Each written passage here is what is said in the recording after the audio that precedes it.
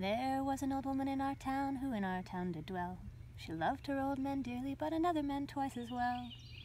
With a whack for laddie and a whack for two She went down to the doctor to see what she could find. See what she could find, sir, to make her old man blind. With a whack for laddie and a whack for two Oh, feed him eggs and marrow bones and make him sup them all. And it won't be very long before he can't see you at all.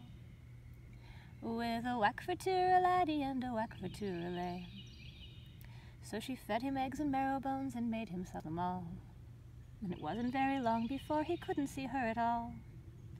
With a whack for laddie and a whack for two Well, now that I am old and blind and tired of my life, I'll take myself to the river's edge, and there I'll end me strife.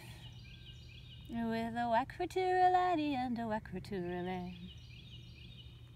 To kill yourself, to kill yourself would surely be a sin.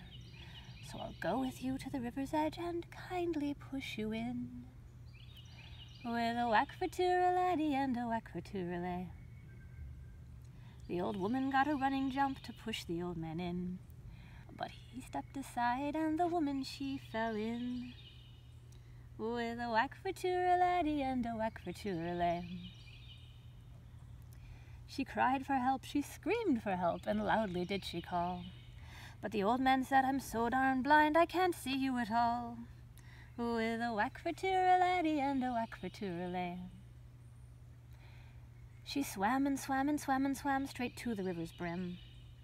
The old man got a great long pole and pushed her further in.